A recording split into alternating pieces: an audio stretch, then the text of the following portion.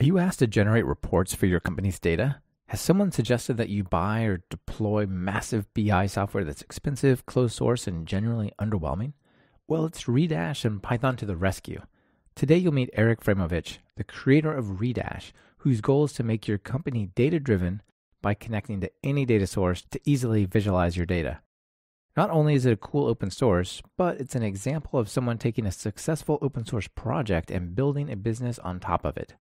This is Talk Python to Me, episode 110, recorded April 27th, 2017.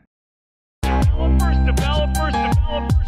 I'm a developer in many senses of the word, cause I make these applications, but I also use these verbs to make this music. I construct it line by line, just like when I'm coding another software design. In both cases, it's about design patterns. Anyone can get the job done, it's the execution that matters. I have many interests, sometimes it can flex. Welcome to Talk Python to Me, a weekly podcast on Python, the language, the libraries, the ecosystem, and the personalities. This is your host, Michael Kennedy. Follow me on Twitter where I'm at mkennedy. Keep up with the show and listen to past episodes at talkpython.fm and follow the show on Twitter via at talkpython. This episode has been brought to you by Intel and Hired. Be sure to check out what they're offering during their segments. It helps support the show. Arik, welcome to Talk Python. Ah, good to be here. Yeah, it's great to have you here. It's time to democratize some data and, and break it free from all the places it's captured and uh, use Python to do it, right? Yep, yep, yep, yep. That's how it started, and that's the. It's still the mission. Like uh, we're not there yet, and it's a lot beyond the technology itself. It's also educating people. But yeah, that's the goal. Yeah, it's it's an awesome goal, and I'm looking forward to chatting with you about it. But before we get into that, let's hear your story. How did you get into programming in Python? It started over 20 years 20 years ago uh, when I got my first PC, which was an XT computer. I think that there were newer computers at the time, but that's what we could afford. And as a kid, there wasn't much to do with it. So I started exploring and luckily stumbled at QBasic, which was shipped with uh, DOS at the time. And it had a few example programs and games along with it. So basically, I just started running them and then uh, messing around with the source code and looking what what results my changes have been causing. So that was my first start uh, with programming. Later, I found uh, some older kid at, the, at school who was programming during breaks, and I was like standing behind him, looking over his shoulder, looking what he's doing, catching up new functions and stuff, and then going back home to try it. And eventually, my my parents bought me some books, and that's uh, how I really started programming. From them, I kept learning. You know, started connecting to the internet, exploring more, and I think that I got a bit into web development at the time. And then the biggest jump was when I was 18. We have a mandatory army service. I was lucky to join uh, one of our intelligence, military intelligence units, where I was became a developer. And there I was doing stuff that are completely different from what I'm doing today. A lot of C++ and hardware interfaces. Gained a lot of interesting experiences, like debugging on a helicopter. Debugging on a helicopter. How how Yeah. interesting. Yeah, yeah. It's not. I can't share that much details, but yeah, that's that happened. Anyway, when I finished my army service, I got back into the web and web stuff. Um, although I had the chance to do pretty much everything, like full stack and mobile development, like native mobile development, and anything, whatever the, the job requires. Yeah. So and Python, I think that I started with Python. I'm not really sure, but I definitely I start, I've been doing Python when Google App Engine was released. So that's around 2008. I had some detour in Ruby for a few years, but then four years ago when I joined Everything Me, I went back to developing mainly in Python. Um, been doing some Go in the past years, but there's nothing like Python. Yeah, that's right. And okay, so this is interesting. You talked about what was it called? Everything Me? What? Yeah, yeah. Yeah. So for a while, you worked at this company called Everything Me, and that was like a launcher app for Android phones. Is that right? Yeah, Yeah, that's right. Okay, and that was super popular, right? Like between 10 and 50 million downloads or something on that scale. Yeah, something like that. That yeah, that was the scale. I don't remember the exact numbers by now, but yeah, that was the scale. Were you guys using Python there, or was that mostly just things like Swift and Objective C, or not Objective C, Java? I guess. So yeah, our client was Android only, so that's Java.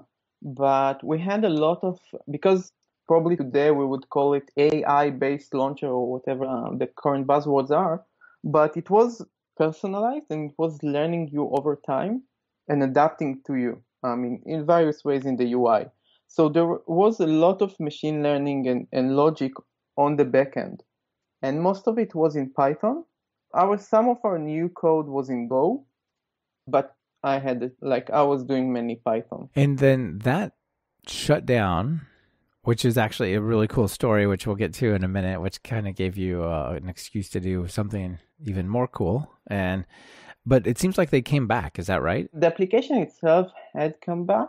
It was a bit uh, weird for us, but yeah, there was another company that bought the IP, I think, or something like that. I'm not really sure about the details, but they brought back that. Yeah, because I, I read your Medium post about how when that shut down, you went to work on this project, and then I did some research to look at just what that was historically, and I'm like, oh wait, it's still in the Play Store, and there's still an active website, and okay, I, must, I figured somebody must have uh, purchased it. Yeah, exactly. Okay, well that brings us to what you're doing today. So what are you doing to day to day for programming? These days, I'm working on Redash, and I'm working on the three levels. One is Redash itself, so the code trying to build the Redash community because it's an open source project, so trying to build the open source community around it. But it's also the company that I started when everything was shut down. So I'm also trying to build the company. And yeah, so that's my day to day. And I'm trying to balance between all of this. Usually one of the aspects is suffering more than others. But I'm trying to learn over time how to improve the balance. That's really cool. So one of the things I'm always love to talk about and share with everybody is how people have an open source project and how they, in some way or another, make a business about it. So I really want to dig into that. But before we do, let's talk about just Redash itself. What is Redash? Where did it come from? Things like that. Okay, cool. So there for me, it's when like at some point when we started, we collected event data, like about usage and stuff like that with Splunk you can compare it to Elasticsearch with Kibana, something like that. And once we started getting actual usage, it just didn't scale well with the amount of data that we started to collect. And we've been looking into different uh, alternatives and decided to go with Redshift. At the time, it was really around the time that Redshift was just introduced. It was a bit over four years ago, I think. All right, tell us all what Redshift is from AWS, right? Yeah, so basically it was a mobile app, but you can compare it to Google Analytics, like the data that Google Analytics uh, collects. So it's the same thing, like a user clicked this button, user swipe left, user swipe right, user did that, looked at that, and stuff like that. And for us, it was really important because along with Splunk, we've been using Flurry, I think, and some of the off-the-shelf analytics products, but most of them really didn't work for us because we've been creating quite a unique product. Like it's it's a launcher, so it's not an application that you start, do something, and then close it. It's something that runs all the time. So the concept of session is completely different from how other apps see it or how the off-the-shelf products see it. So being able to access the raw data gives us a lot of power and ability to really understand what people are doing. So that was Redshift. So you said Redshift is a column store database. Columnar, yeah. Columnar, yeah, which is not necessarily the same as a standard relational database. It's not a document or key value store type of database. Yes. How would you describe that? Like, what does it mean to be a columnar database? Redshift has two properties. One of them is that it's columnar, and what it means is quite easy to understand. Is that it stores data in columns. So when you write a row, it takes each column and stores them, each one of them along with the other values of that column. And what it allows, it allows for easier compression. Like it can really compress your data really well. Because think of like if you have a column which is a boolean, so it's super easy to compress it if you have only these booleans versus if you store them by rows because then it gets it's harder to like to compress this row because it has all these different kinds of data. And this compression both is, saves you space and when you're dealing with large large amount of data it's important but it also makes processing much much faster because you need to, to load smaller amounts of data each time. The other property of Redshift is that it's, I think the term is MPP, is uh, massively parallel. What's the other P? I don't remember. massively parallel. That's just M- so why MPP? Massively parallel processing, maybe. Yeah, exactly. Yeah, you're right. They have they like when you run a query on Redshift, they compile binary code from it from your query, distribute this code to all the nodes in your cluster, and then each node runs the query, and then the master node aggregates it all. So it's all sophisticated ways to process large amounts of data.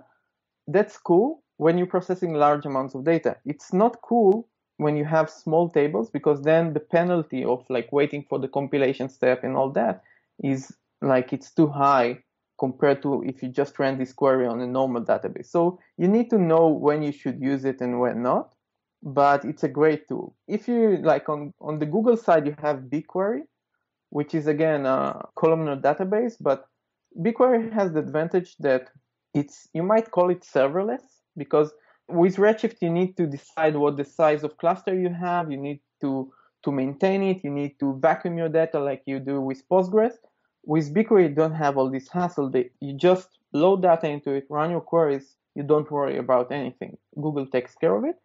It comes with the downside that you pay per query. They have an interesting pricing model where you need to pay basically based on the amount of data that your query is scanning. So you need to be really aware what your query is doing and what columns you're picking to query and stuff like that. That is an interesting business model to like. As your code runs less efficiently, you pay more, but that's a pretty straightforward way to. I mean, that's how you Yeah. use it up, right?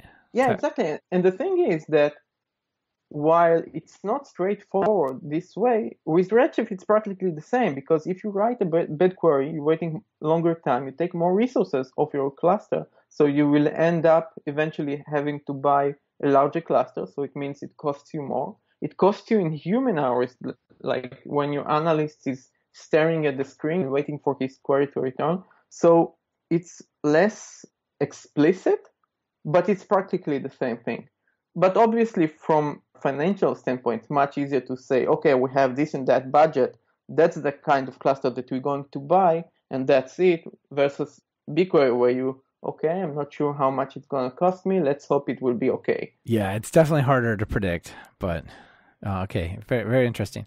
All right, so you you said, look, we have this this high performance, massive scale database, and sort of regardless of which one you choose, and we have all this data coming in, and you're like, well, now we want to look at it and query it and do reports on it and things like that, right? Yes, exactly. So we adopted, we, we had this project of, okay, let's start piping our data into Redshift and to understand how we should do it and all that.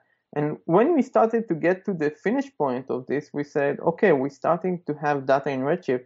What are we going to do with it? And we've been really spoiled by Splunk because Splunk has a really good user interface that allows you to query the data that you send into it. And they have their own language that some people like it, some others not. I didn't use it enough to form an opinion, but it was obviously lacking with Redshift because Redshift is just the database. They don't handle the UI. And at this point, we we decided, okay, let's let's look at what uh, the big boys are using. Let's find the BI tool. And we looked at Tableau, Yellowfin, and maybe some others, but all of them failed with Redshift. They might be great tools for traditional BI, let's call it, but with Redshift, what, what we've been doing at the time, and probably many others doing, we had a huge table, which being our raw events data, and we wanted to start running queries on top of it. And it's something that's super hard to do with tools like Tableau or Yellowfin. I think that they improved over the years and adapted to support better tools, uh, databases like Redshift, but it's definitely not the same thing as being able just to open an editor, write your query, and run it on top of the results, eh, on top of the table. We try to find a tool, and at the same time, because we started already collecting data, anyone who wanted access to this data, we just created a user in Redshift, told him to connect with any SQL client that he likes, and they started, people started inquiring for data, getting results and sharing them. But the way they've been sharing them is basically sending CSV or Excel files over email, which is okay. but then you get into questions like, okay, we see an issue in the data. Okay, we see that we have a drop in conversion. Now starting, we start with questions like, do we really have an issue? Maybe the issue is with the data that we collect because we, it's a new pipeline. Maybe we have a bug and it's not really a drop in conversion. Or maybe it's just the way the person who wrote this query, he made a mistake and he calculated the conversion wrong.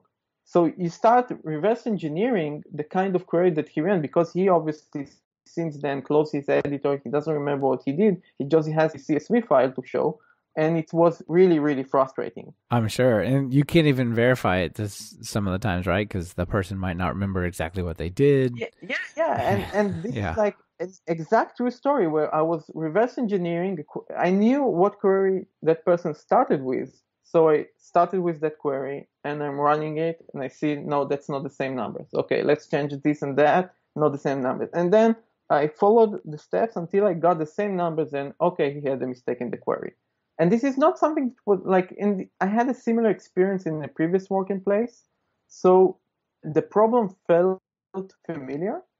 And me and our CTO at the time, Joy Simchon, we started talking about how about if we had a JS Fiddle like UI for queries where a person can write a query, get the results, and then share this URL with others where he gets where the other person gets both the results but also the query so that you can see what he did and maybe understand if there if it's like do some peer review and also if you want to keep digging in you have the query to start with so we had this idea floating and then we had one of our hackathons and this is when Redash was born. Nice. Yeah, you know you have a, a, a good product or, or idea when it's solving a problem that keeps coming back, right? You're like, oh, we've been here before. Why is there nothing that actually does this well? Yeah, yeah. And I think that only after I realized, yeah, that's actually something that I wanted to build back then. Hmm, interesting. And many people that adopted Redash since then been telling me, yeah, we built the same thing internally, but we dropped it for Redash because, well, we can't really maintain it for a long time. And here's a product that someone's already maintaining and using so let's switch to it. Right. So Redash kind of is made up of two different parts. You've got, like you said, this JS Fiddle like query editor, and it's actually really nice. It has auto completion for the columns and tables and all sorts of stuff, right? Yeah. It depends on the database that you connect to, because not all of them we have support for loading the schema, but if it's a connector that supports loading the schema, you will have autocomplete and we have some other features that we adopted over time, like query snippets. And you can have parameters inside your query, so you can create something more interactive that the end user, let's call it, can play with instead of changing the query every time. I see. So can you have like a so the other half of the story is you build the queries. The other half is the dashboards and visualizations. So on your visualization, could you have like a slider that is like a uh, number of days you want to average across or something like that. You can slide it and it'll change the query. So unfortunately, the parameters are not as slick as a slider or something today. So currently, they're just input boxes where you can, the most that you can customize is like, say, okay, this is a number input box or it's a date input box and the UI will adapt accordingly. But it's definitely an area where I and hopefully others uh, want to invest more and improve it because eventually not everyone knows to write queries and having the need to have someone to write the query for you every for every small change is not fun. So being able to give these people a way to create interactive stuff is super important. Sure, and being the person who writes that query where they're like, "Well, I asked for for one day, but now could you do it for 7 days?" You know, that's also not fun to be doing that, right? Yeah, exactly. Although I've seen more than once that people who not like your traditional someone who like Obviously, developers will know to write queries. Then there are the product managers who some of them had some engineering background. They know to write queries. But I've seen marketing people learn to write queries just because, well, they started with asking someone to write a query for them. And then over time, they started picking at, at the SQL and saying, okay, that's not that frightening. Let's change the number of days from 7 to 14, running the query, and hey, I got got the results I wanted. That's cool.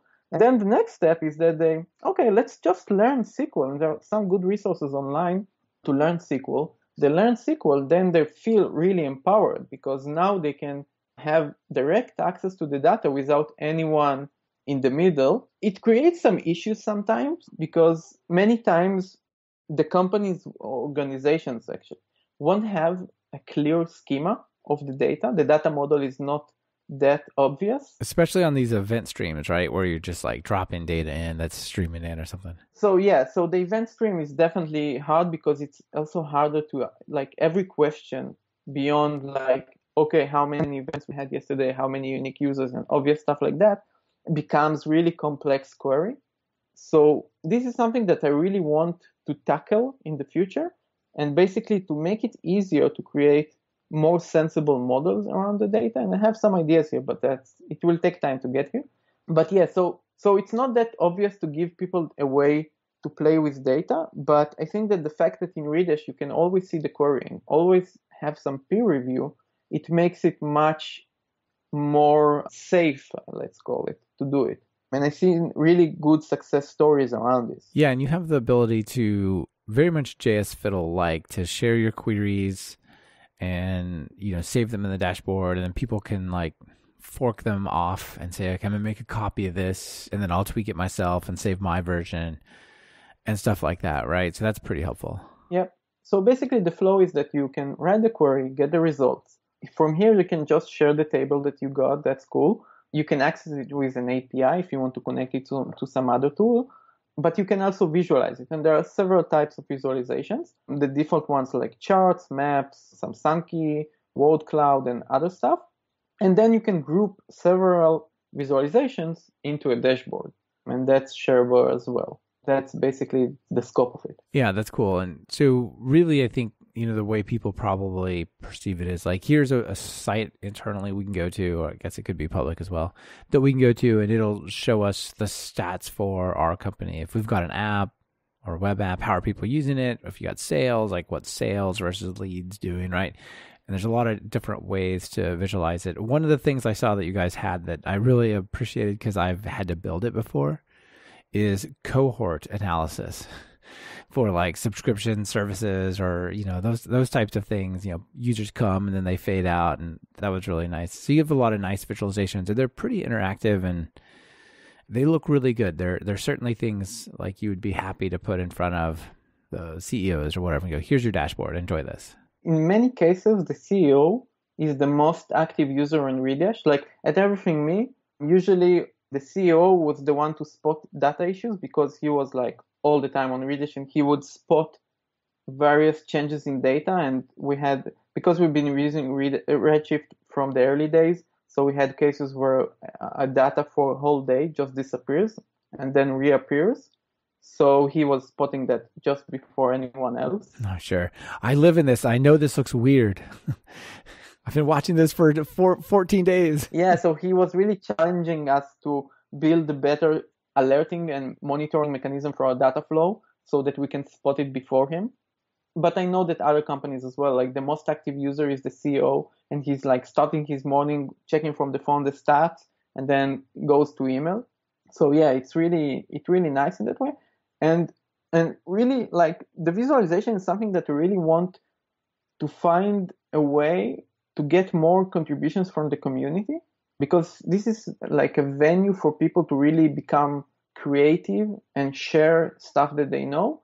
And I think that something that really will really help with it is if we will have some plugin model. So today you need like if you want to add a visualization, you need to make a pull request to the main repository and you need like to start the whole project for that, which over time became a bit hard. So I think that once we have a plugin model, it might catalyze more development around this area. Yeah, I was thinking that a plugin model. Uh, I was going to ask you about that. That seems like a really good idea.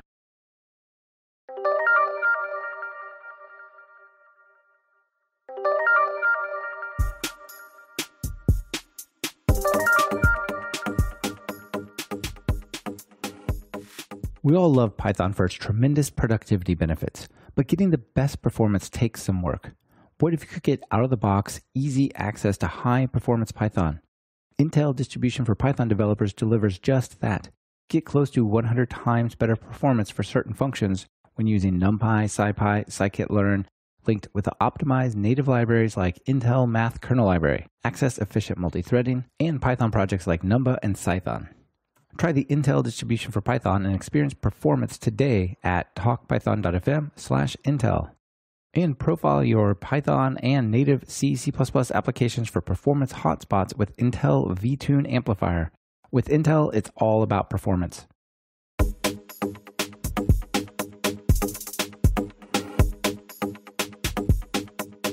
We also talked about the community. Like if you check out the the GitHub repo at github.com slash get redash slash redash. And when somebody, one of my listeners suggested that I have you on the show and that uh, we talk about this, I'm like, okay, this is a pretty cool looking project, but like how many people really care about it? And then I went and looked at the GitHub repo and there's like 65, almost 6,500 stars. There's like 135 contributors. I'm like, whoa, people are using this a lot. And it, it, it seems like such a nice alternative to like Microsoft Excel with like some BI plugin or you know something like that, or all, the, all the various like big corporate commercial things that you have to buy into to sort of do your BI dashboard type stuff. Yeah, and most of them are many times will be too complex for many use cases and overpriced. So basically, they've been like priced. Let's buy. Let's charge as much as we can which is not really friendly for smaller companies or for different economies. Like Redash has users really all around the world, and we see like people from Asia, Africa, South America, where they have a completely different economy, and it's really hard for them to afford all the other tools. So being able to like to give them something that's really affordable, like almost free, like it's open source, so it's really free except for the I don't know the cost of the server really gives them, a, I don't know, uh, the same playing field as others, which is kind of cool. We have like besides that, we have all the big names that use it and that everyone knows, like Amazon, Atlassian, Mozilla, SoundCloud, Outbrain, and others. But it's really cool for me that I know that it's being used everywhere and not just you know like in the United States, in the Silicon Valley, and Actually, I think that in the Silicon Valley, probably less popular in many other areas. Right, because they have the money to burn on whatever they want. yeah. but it is cool. It's cool that it's used at some of these major tech companies. It's also cool that it's enabling places where they're just with nothing possible or much less possible before. So you talked about supporting different databases or connectors. You actually have uh, quite a few integrations, you call them. What are some of the integrations that you guys have? We started with Redshift and Postgres, and basically it's the same thing. It's used like Redshift. You can talk to it with a Postgres client. So this was the first connector that we had. I think the second one was MySQL, and the third one was BigQuery. But since then we had many more, and most of them came from as contributions from the community. Basically, someone found Redash, he wanted to connect it to his database, and he created the connector. And I think it's there are two reasons why it became like this kind of contribution became popular is because there is a really simple API that you need to implement to add a connector to Redash. And also it's like the thing that you must create to be able to connect to a database. So it's been really motivating people to do it. So yeah, today it connects to many databases that I never used or heard of before. like InfluxDB or Impala? The uh, so actually InfluxDB I used. Okay.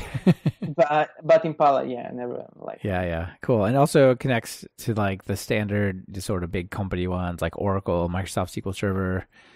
You've got um, yeah. um, MongoDB and uh, MySQL, like what you already mentioned, and and Cassandra and some others, right? Yeah, and with all of them, you can say, well, let's say with all the SQL ones, you can just write the regular SQL query that you will write for the database like we don't do any processing on your query. We send it as is. And this is one decision decision that allows us to support all these databases so easily because adding a database is just a matter of having proper driver in python for it. And even that not really a limitation as like amazon athena which is something they introduced recently they released only a jdbc connector for it. And basically what I did is write a simple microservice in Java that uses the J- J- JDBC driver and exposes an interface that Redash can talk to it. I see. But most of the others, we just use the Python driver. Now, if it's a database, if it's not like, if it's a database like MongoDB, then you just need to write a JSON that describes the query, the, the MongoDB query. And it's almost similar to the syntax that you might use if you wrote the query inside some Mongo shell. Not exactly the same, but quite similar. But we also use this for other, like we have connector to Google Analytics, for example. So you, again, you write a JSON that, that describes the data that you want to fetch from Google Analytics, and you can get it into Redash. Similarly, we have support for Google Spreadsheets, Jira, um, and some other stuff. And what this allows is that you can create one dashboard that shows data from the multiple data sources that you have. It became quite common these days that many companies will have different type of data sources, and it really helps them to be able to just show data from all of them instead of having different silos of UIs that show data from each one or having to build it in-house yourself. Right. So maybe you could have like Google Analytics, like a Google Analytics widget on your dashboard right next to, so for web traffic and conversions, uh, right next to like your sales numbers for the day. And you could see how those relate potentially or something like that, right? Yep, yep, yep. Nice. Do you have integration with things like Stripe? No. And it's something that comes up and maybe in the future we will have, but it's much easier today to just use something like um, I don't know Segment or Stitch, which are companies that give you the service of you connect all these webhooks to them, or they just use their REST API, whatever, and they can uh, write the data into your database or maybe BigQuery or whatever you you want, and then it's easy to query that in Redash. I see. Let them handle all the API bits and the callbacks. It's not only that, you get also the advantage that you have all the data in one database, so you can start joining the data easily. Right. Okay. And it's something that you can do in the hosted version of Redash, that you can write a query that runs across different data sources, but it's still not the same thing as having it in the same database and easily manipulating the data. Sure. So we've talked about a lot of the databases and data sources on the back end. What is Redash itself built in? It's a Python web app, right? Yep, yep. So it's both Python and JavaScript because all it's single page application. I think there are new names for that today, but basically the Python side is is an API, and then there is the front end application that uses this API to present the UI. I see. So you've got like a Flask backend. There's a bunch of JSON services, and then you've got what Angular running on the front end. It's a bit embarrassing these days to say it, but yeah, we're using Angular one. So yeah, when we started, it was quite new and fun, but uh, these days, yeah. Isn't that the problem with JavaScript? It's like we got the most amazing thing. It's just taking off, and like six months later, it's not. Right? There's Yeah. five other choices. It, it's hard to really pick a winner. I mean, it's just nobody seems to reign very long in that that world. Yeah, it's a bit frustrating in this sense. Ember been quite surprising in the sense that they kept just moving ahead and there are they've been able like to really pick up the good parts of each new iteration of frameworks but it has its own issues in other senses but it was really impressive to see how ember just evolved over the years. And i think that there is a feeling that things starting to stabilize that the community starting to adopt less like the same tools and start to evolve them instead of yeah let's reinvent it again and it seems that react is going to be among the top winners alongside with Vue. I'm not sure how to pronounce it, but it's V U E. Okay. And probably Angular will stay because all the enterprise uh, players that use it, but it's probably not going to be the tool of choice for new companies and smaller companies. I really like the Angular 2 and by now it's probably Angular 4 syntax is really like I just don't like how it looks the the API they created, but that's just a personal thing. So yeah, we're still with Angular 1. I, I really hope that I could devote the time to migrate to something else, but every time it comes up, I need to wear the product manager hat and say, the user doesn't care if it's Angular, React, or whatever. So let's focus on things that the user cares about. Yeah, I mean, it, it really doesn't matter too much until maybe you there are contributors that's like I would love to contribute, but I'm not writing Angular, or it's really in the way of like evolving the product, right? Yeah, exactly. I'm sure that there are a few things that I can like. The aspect of attracting new contributors is definitely an issue here because many people will just stay away from Angular these days and will be bummed by that. And I can see some technical challenges that will be much easier, including the, the plugin model and stuff like that, if we adopted something else. What would you pick if you could pick anything? It's a good question. It will be probably either React or Vue. Mm-hmm. I really there are some things that I really like about Vue or whatever its name. View maybe? Yeah. Yeah, it's probably pronounced like View, but you yeah. Anyway, V U E. So there are many concepts there that I really like, but it seems that most of the mind share is around React. And as an open source project, that I think it's important to adopt the more common technologies so it's easy for people to jump in and contribute instead of picking stuff that might be make more sense i mean from a technical point of view Yeah, there's really that balance, isn't there? I mean, you definitely want to make it as easy as possible for contributors to contribute and extend it. yeah and in that sense angular was really bad choice. I remember um, an instance where someone like a coworker there for me wanted to add some feature and i started to walk him through the things that he will need to understand to add it. And then after like two three minutes i said you know what? Never mind. I just implement it myself. It will take less time than to explain it. On the other hand there was some internal app that i wrote later on with react and i wanted someone to help me with a specific component there and he didn't even need to look at react's documentation he figured out the api from the code that i already had in place so it really reassured this feeling that I had that React is really has a really good learning curve. So even if someone not familiar with it, it's super easy to understand. Um, it has other issues where it's like the ecosystem around it is a bit uh, complex at, at this uh, time. But yeah, I don't know. It will take time until I, I will have to make this decision again. So we'll see how things will shift until then. Yeah, maybe someday you can rewrite the front end, but for now, there, there there's more to do.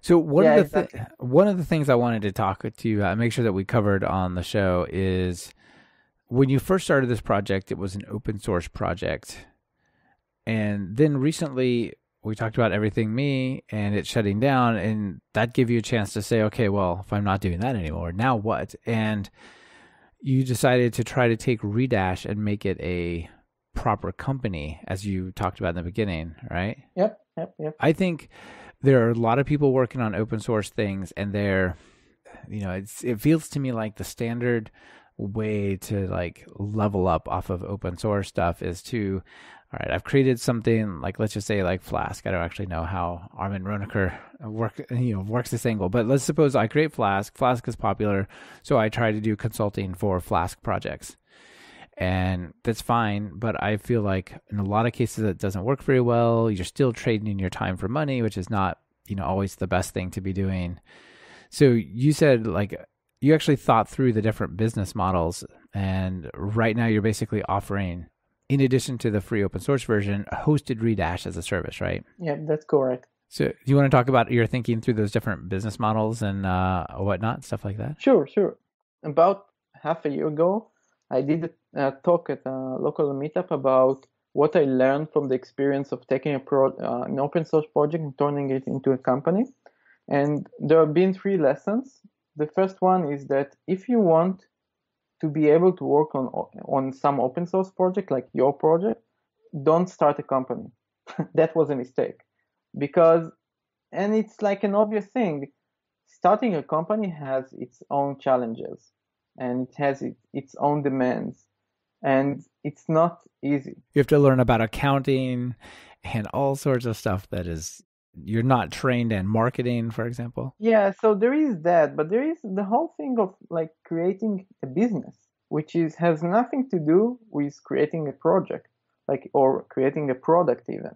Like you have your open source project, that's cool, but it has nothing to do with creating a business around it. And I know that I made mistakes, some of them intentional, around the business side of Redash because the reason I started the company was to make sure that Redash will stay here for the long term. So basically, the project doesn't serve the company. Like it's not that I'm building a company using the project. I'm building the company for the project. Like I'm building the company to be able to work on the project for the long term. Obviously, I'm also making it for my own selfish reasons because like I always wanted to create a company the way I see that it should be. But there is some balance where usually you would take, you will invest more in the business itself. I tipped more towards the project because that was the goal. Now, in terms of business model, luckily we can see a lot of open source companies these days, and you can see different models they do. Many of them, actually, if you look into it, they do all of them. so basically, you can either like have some dual licensing or two versions, like have some your community version and your enterprise version. Something like GitLab, uh, yeah, GitLab is doing. So they have the, the community GitLab version that anyone can download, install, and there's the enterprise version of GitLab. And these days there are, I think, two flavors of their enterprise version, which you can buy a license for and install them. So that's one model. There are the, there is the model of offering some professional services around your software. And there is the model of offering a hosted version of your software, which is something that GitLab is doing as well, but it's not their main thing. The project that I took inspiration most from is Sentry, which is actually Python as well. And I exchanged a few emails with David Cramer, who was really generous with his time and shared some advice. And what they're doing is that they have a SaaS offering which is exactly the same as their open source project. When I started, I decided to do practically the same thing to keep everything open source and offer it as a service as the SaaS offering. And basically, the idea is that anyone who doesn't want to manage his own installation of Redash and have the hassle of like uptime and keeping up with the upgrades and all this stuff, he can use the hosted version. What I learned since then is it takes time to scale a SaaS business, especially when it's not your only focus. Like I'm always like juggling between, okay, we have the open source version and uh, I have some production issue with the SaaS and you need to prioritize. And also like building a SaaS business, again, like at this point, Redash is good enough to keep, just keep selling it, like to focus on finding the market, defining the market and blah, blah, blah, blah, blah but because it's also open source, it has to keep moving forward because no one likes a, like a stagnating open source project. So there is this balance which is not that easy to maintain, especially with limited resources. So besides deciding like on this business model, I also decided to keep the company bootstrapped and not to raise any money. There were different reasons for that. Essentially, it's just the thing that I felt most comfortable with. This portion of Talk Python to Me is brought to you by Hired. Hired is the platform for top Python developer jobs. Create your profile and instantly get access to thousands of companies who will compete to work with you. Take it from one of Hired's users who recently got a job and said, I had my first offer within four days and I ended up getting eight offers in total. I've worked with recruiters in the past, but they were pretty hit and miss. I tried LinkedIn, but I found Hired to be the best. I really like knowing the salary up front, and privacy was also a huge seller for me. Well, that sounds pretty awesome, doesn't it? But wait until you hear about the signing bonus. Everyone who accepts a job from Hired gets a $300 signing bonus.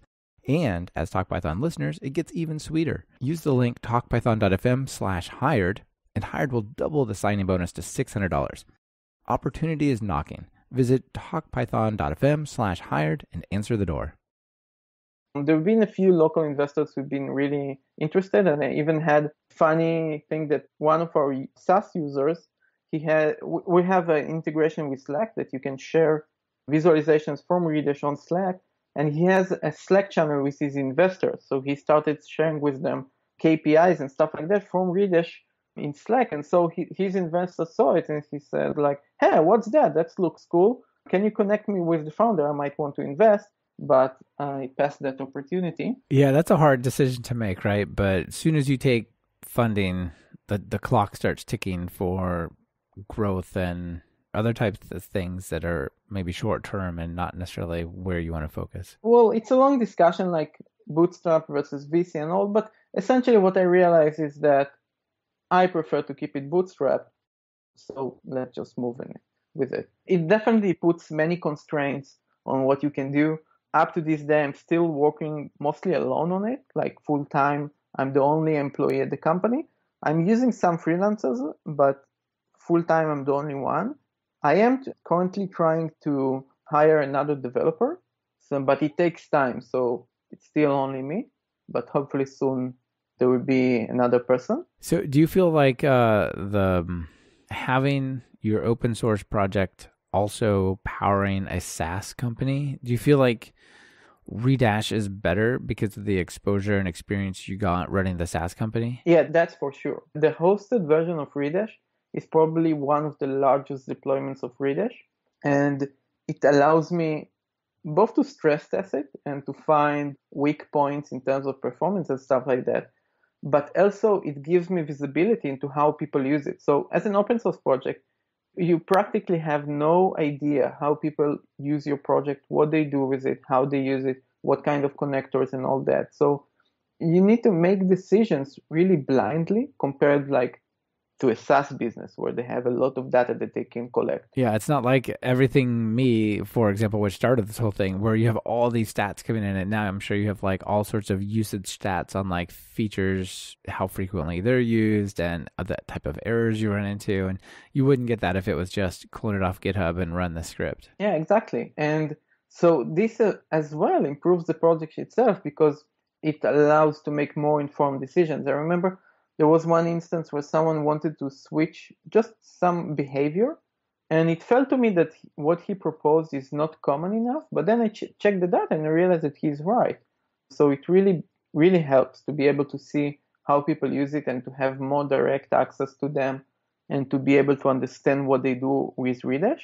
It has some downsides towards the open source project because there are things around the way like the, the deployment story and stuff like that that might be investing more into them if it was only a self-hosted solution.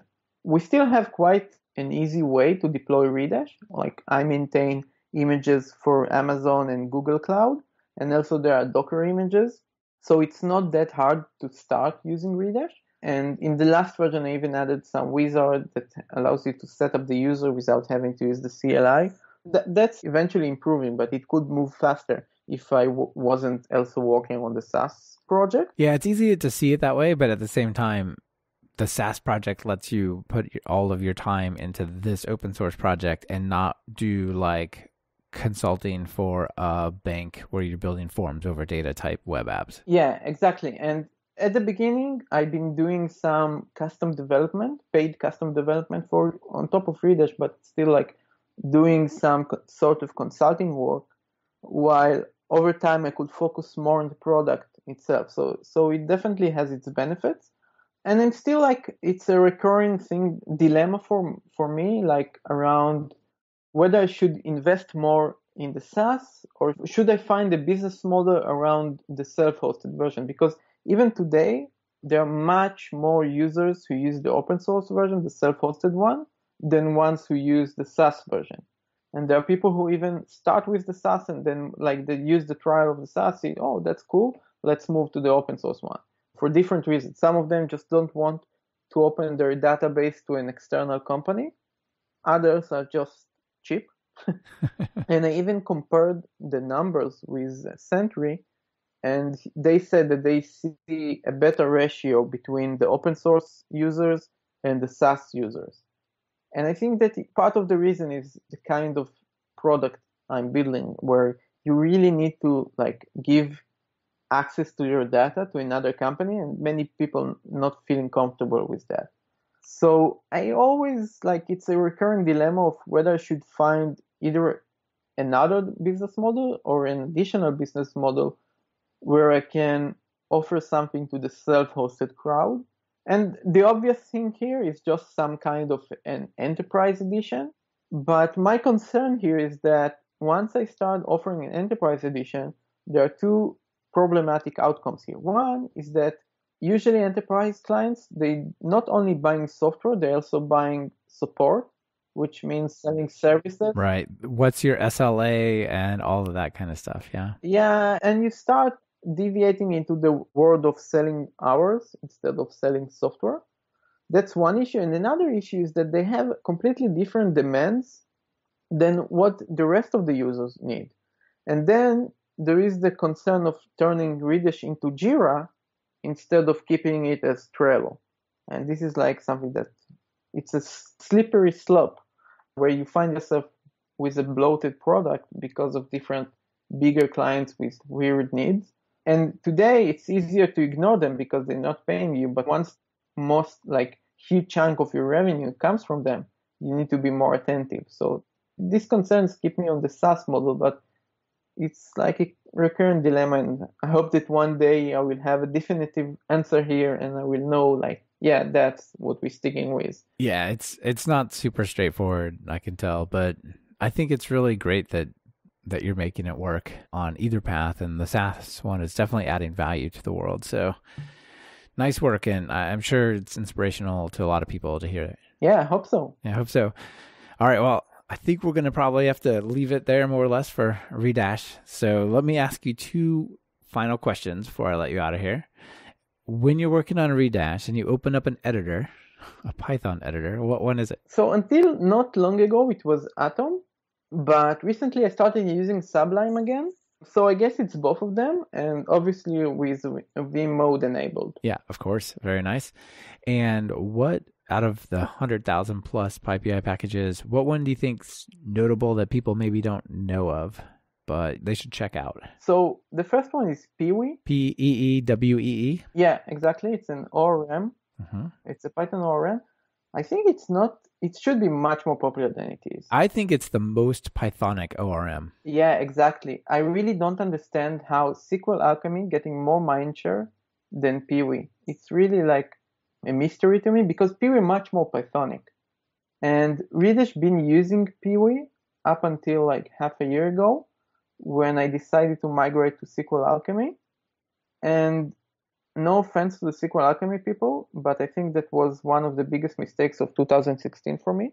Yeah, I should have stayed with Peewee. How interesting. Yeah, you're right. The SQLAlchemy definitely gets a lot of the mind share. Uh, SQLAlchemy is great, but I do think also Peewee is, is quite cool. Basically, you give it Lambda expressions or generator expression type things, and it transforms that into the actual SQL query. I think that's glorious. Yeah, and it's just simple to use and fun. Yeah, exactly. And I also noticed that there's an extension sort of package that will convert it to an asyncio variation. So you can basically create async coroutines and use Peewee queries and await the queries, which is that's just icing on the cake. That's nice. Oh, that's kind of cool. Yeah, it's very cool. So thanks for that. Those are awesome recommendations. Now, final call to action like how do people check out Redash? How do they check out the hosted thing? What do you need from the community? Things like that. Go to redash.io and you have all the information there. It's super easy to start, either if you go with the hosted version or even if you start with your own deployment. It's really a few minutes and you can start querying your data. And probably if you have a database, you, you need Redash.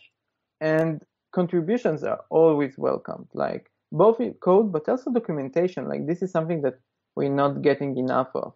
But yeah, any contribution is eventually welcomed. All right. Well, sounds good. It's definitely a cool project. Arik, thank you for sharing it with everyone. Thank you for inviting me. You bet. Bye. This has been another episode of Talk Python to Me.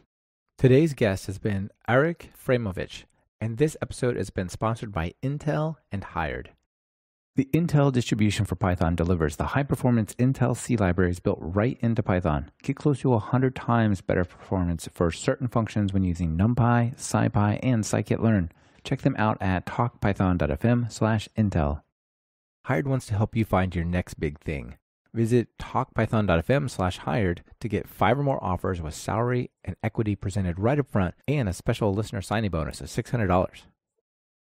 Are you or your colleagues trying to learn Python? Well, be sure to visit training.talkpython.fm. We now have year long course bundles and a couple of new classes released just this week. Have a look around. I'm sure you'll find a class you'll enjoy. Be sure to subscribe to the show. Open your favorite podcatcher and search for Python. We should be right at the top. You can also find the iTunes feed at slash iTunes, Google Play feed at slash play, and direct RSS feed at slash RSS on talkpython.fm. Our theme music is Developers, Developers, Developers by Corey Smith, who goes by Smix. Corey just recently started selling his tracks on iTunes, so I recommend you check it out at talkpython.fm slash music. You can browse his tracks he has for sale on iTunes and listen to the full length version of the theme song. This is your host, Michael Kennedy. Thanks so much for listening. I really appreciate it. Smix, let's get out of here. Stating with my voice, there's no norm that I can fit within. Haven't been sleeping, I've been using lots of rest. I'll pass the mic back to who rocked it best.